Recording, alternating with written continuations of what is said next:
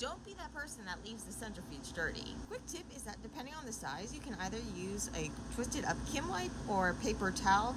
And what you can do is you can actually just use this, twist it up and use that to kind of push it in and out.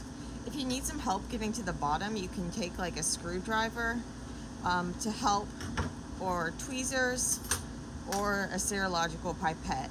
Um, but when you're using, especially when you're using a metal tool, you want to make sure that you're not scraping against the sides. These rotors are really, really expensive. Um, so make sure that you always have it like kind of wrapped around and you're not directly touching the, um, touching the rotor inside.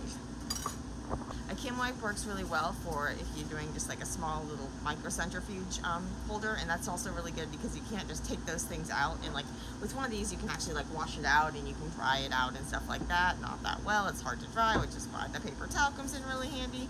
Um, but with those little ones that are stuck in there um, this is kind of one of your only options and you can use like a pipette tip to help you get it in and out um, making sure that you're not like actually getting this trapped inside of there um, and yeah of course, it's better not to get those rotors dirty in the first place. And so what you want to do is when you're centrifuging, you want to make sure that you're wiping off the tubes.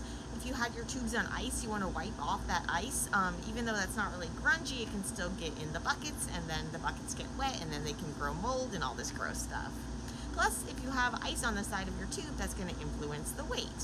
So when you're going to balance, you want to wipe off before you do your scale, you're weighing out, um, and then you want to wipe it off again before you put it into the rotor bucket, bucket, whatever you call that.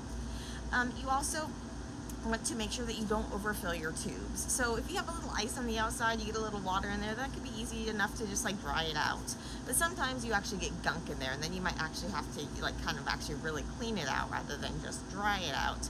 And the reason why you're getting gunk in there is because what's gonna happen is if you overfill your tubes, um, so you wanna make it so that when you're holding the tube that the outside, the liquid doesn't like actually touch the side, the, the O-ring you don't want it to actually be touching the cap because that's indicating that's probably some of it's going to leak out when the centrifuge goes really, really fast. And when it leaks out, it can get into that rotor bucket and make you have to clean it. Um, and it can also get out into the wider um, centrifuge, into the vacuum oil and all this stuff and cause all those problems that the maintenance has to come out like and fix it all the time. That's what happened in my old lab, so don't do that after every run, just in case you want to make sure you want to go and you want to look down, look inside the rotor buckets. Um, do you see any gunk in there? Is it wet? If so, clean it out. Um, so look before and after you do your runs. Um, keep these things clean. We often keep these rotors in the refrigerator so that they're cold and ready to go when we go to um, spin down our proteins and stuff. We can cool down the centrifuge, but it's going to take a long time to cool down a big metal thing, and so we just keep it in the fridge so it's ready to go when we have the centrifuge cool down.